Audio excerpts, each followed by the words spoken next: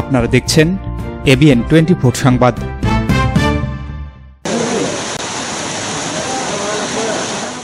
ভারী বৃষ্টিপাত আর উজানের ঢলে লালমনিহাটে তিস্তা নদীর পানি বৃদ্ধি পেয়েছে।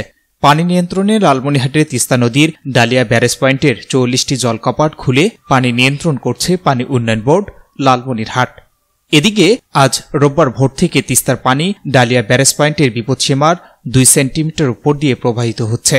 পানি বৃদ্ধির ফলে লালমনিহাট জেলার পাটগ্রাম উপজেলার দহগ্রাম, হাতিবান্ধা উপজেলার সানিয়াজান, গড্ডিমারি, দাউয়াবাড়ি, কালীগঞ্জ উপজেলার ভোটমারি, চরবৈরাতি, আদিতমারি উপজেলার মহিষখোচা, গোবর্ধন, সদর উপজেলার কালমাটি, হরিণচড়া, খুনিয়াগাছ, রাজপুর গোকুণ্ডা সহ অন্তত পনেরোটি গ্রামের বিশ হাজার মানুষ পানিবন্দী হয়ে পড়েছে।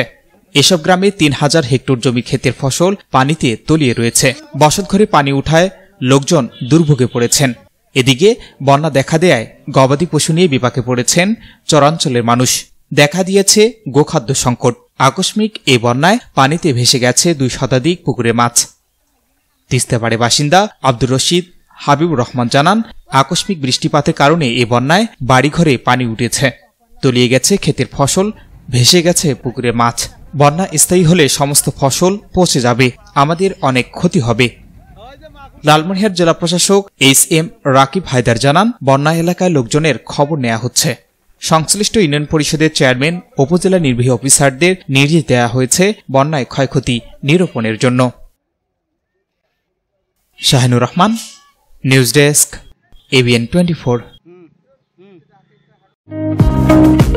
Alam সার প্যালেস, এখানে TV, fridge, rod, cement, shallow machine ও পাওয়ার টিলার সহজ কিস্তিতে বিক্রি করা হয়। প্রোপাইটার মোহাম্মদ মিস্টার আলম, স্থান Khalaspir, Pirganj, Rangpur. Easy buy electronics. এখানে খুচরা ও পাইকারি এবং সহজ কিস্তিতে সিঙ্গার, যমুনা ও অল্টারনেট ফ্রিজ সহ সকল পণ্য বিক্রি করা হয়। প্রোপাইটার মোহাম্মদ আব্দুর রাজ্জাক মণ্ডল, স্থান উপজেলা পরিষদ সংলগ্ন জামতলা রোড পীরগঞ্জ রংপুর।